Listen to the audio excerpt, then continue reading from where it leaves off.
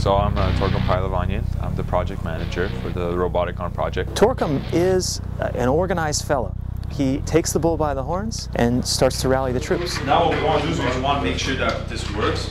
It'll be like a C++ program when we write it. It really depends on what you've done. Like, it's like for them, they, he might have done something different than him. What was this before? Uh, servo. The Seth, can you give me a red one of these? I got a team of people together. We basically started working over the winter. We wrote a five-week schedule on what we wish to accomplish, and if we were to follow that schedule exactly, we would finish this project.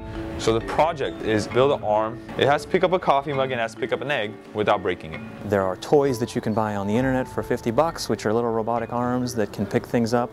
Uh, so that kind of tricks us into thinking that, that this is a slam dunk. I think the biggest challenge that they're going to have is their, uh, their ambition. They want to do a lot. We don't really have fingers. We have a claw. It's quite a complex undertaking. There's software components, electrical components, mathematical theory, kinematics, there's mechanical hardware, how the motion is encoded and carried out. We haven't learned this stuff. In school, they don't teach you how to build a robotic arm. I don't think anybody here has built a robot before. It's, it's my first project I'm working on. We're just learning all of the, the math behind it as well as how to take that math and implement it. Five weeks is not a lot of time. So if we take our time, it's, it's not going to get done The goal of the first week is design the exterior. So we wanted to design the exterior of the robot, which we're almost completed. This is a 3D printer. All of these are 3D printers. So they're actually going to print a 3D model of what the arm is going to look like. You soak the components in, the parts in, and then... After know, a long period of time, they'll clean it all right off. Wash off the support material another 12 hours. This piece still has the support material. Yeah. This would be the prototype for their project. Yeah. As per little switch or something here that when it closes it makes contact. Oh, okay. So you want this guy. Uh, the most difficult task for this team or for these teams is basically how to in how they build the interaction interface. The Arduino, all the pins are bare. They don't have anything inside. So we have to put these things called headers. And what the headers do is it plugs into this piece connects to a computer through a USB. So everything is challenging. There's so many little problems that come up. A Raspberry Pi was turning off once we hooked up a motor to it. We're really lucky at GCC. We have a, a beautiful manufacturing technology lab. It has state-of-the-art CNC machining equipment. It took a while. The program wasn't working. There was loose wires. Yeah.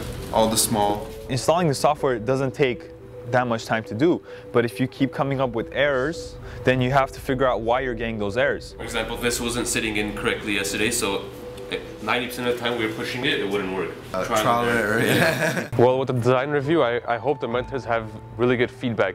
I really want to see what they've come up with as far as their design. I'm not nervous about it because, you know, I designed the arm, so I know exactly what I'm going to say. We went and actually weighed our, our parts just to see how they would compare to our simulation. We think we have some stuff that I think will impress them. So getting into the electronics, we're going to discuss the schematics, so how everything is hooked up, our power source, DC motors, and how they're driven. To basically create a common ground with the software portions. If this was like a high precision, a robotic arm might be cutting a vein that it's not supposed to be cutting. Resistance decreases as when you put more force in. I'm going to have to worry about much stress being put on this. We'll figure it out, but it's, it's taking a little bit of time. The robotic arm was kind of the platform for developing these skills, but it was actually a project that we wanted to accomplish. It just happened that you know it was much more complicated than we had initially imagined it to be. Guys, the difference between a design review and a presentation is that you, you go slow. You need to let the brainstorming kick in. I have a question for the math team, I guess. Did you guys put in specs for Ultim for the finite element analysis? You know, in engineering world, not every it's not 100% success and that's part of the process that's part of the experience. This is the process of planning. It's a very it's a very complicated process to master. I might personally i have not mastered it. All these things you kind of have to think about how the scheduling is going to mesh together you know so that people aren't waiting for each other.